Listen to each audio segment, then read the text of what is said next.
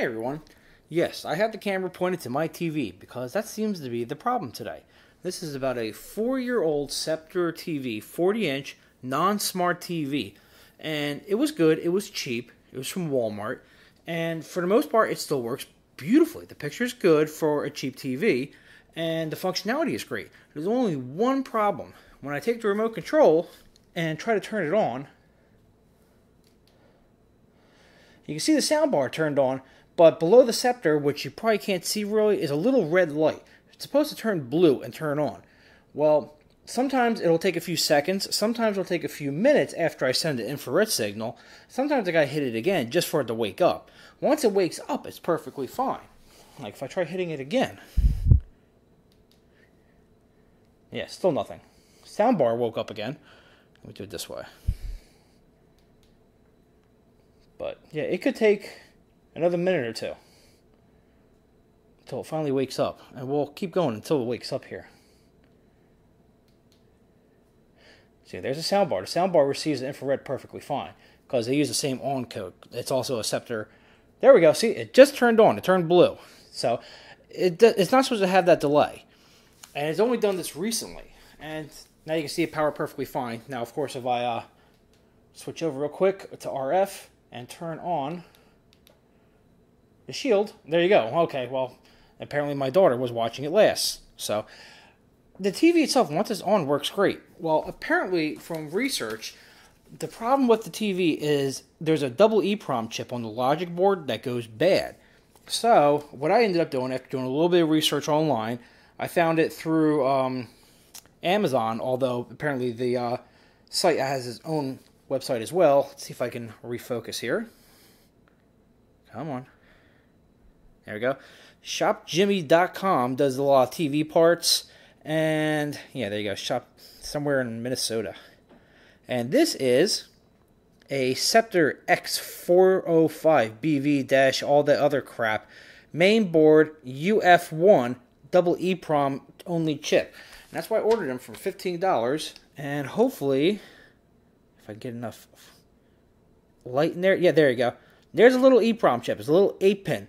So what we're going to do today is take the TV apart, get to the logic board, replace that double EEPROM chip, and see if it fixes this issue. Because I'd much rather spend $15 to fix this TV than to go spend another $300 on another 40-inch TV. Especially considering I want a non-smart TV because I already have the NVIDIA Shield, which is glowing green right there. So let's get this out of here and onto the kitchen table because this is definitely not going to fit on my uh, bench down down in the basement. So let's open it up and get started.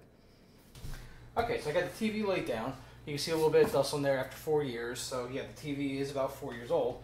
So first, let's get all these screws out of here, and then we'll use uh, some spudgers to uh, open it up.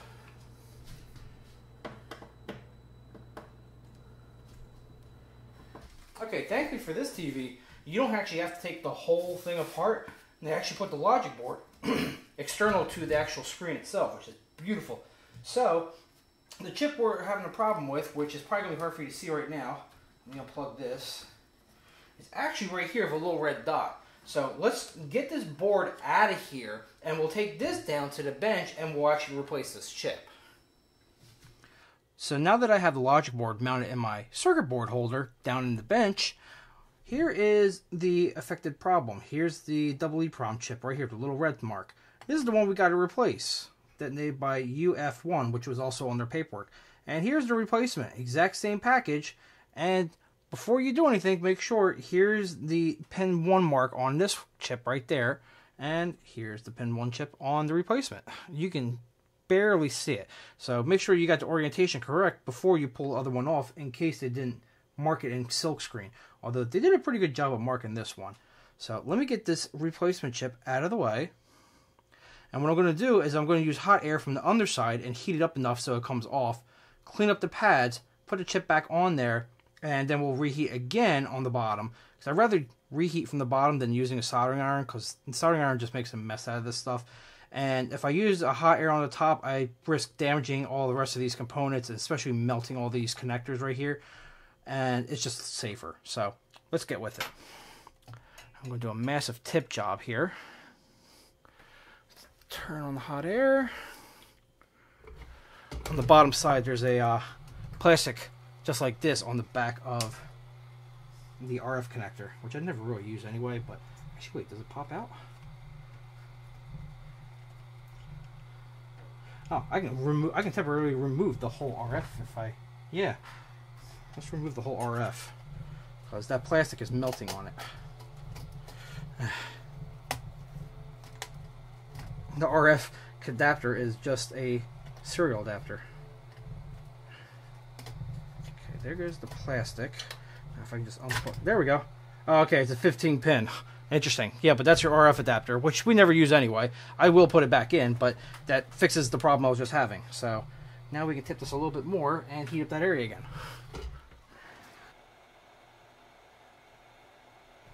I don't want to mess up that trace.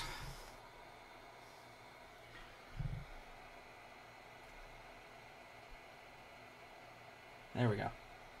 Looks like I did mess up a trace. Okay, let's put this back and take a look at it. Yeah, that trace looks kind of bad.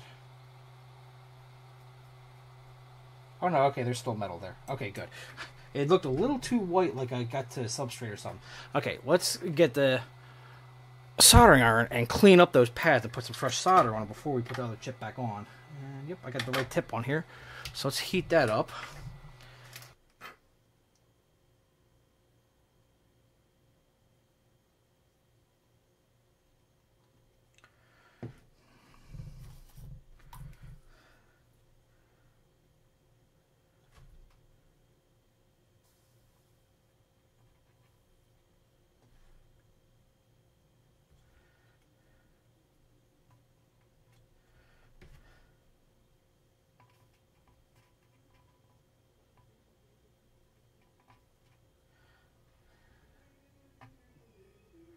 Okay. Okay, here's the orientation.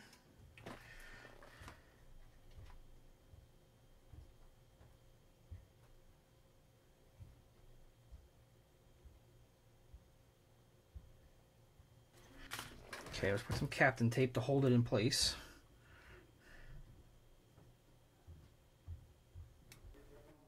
There we go, that should work. Now let's reheat it again, and that should hold the right in place. You can see the heat already working through the board somewhat because the flux is boiling off there.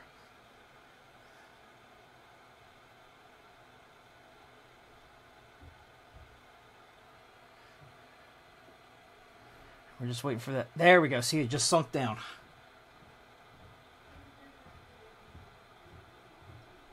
And we can remove the heat.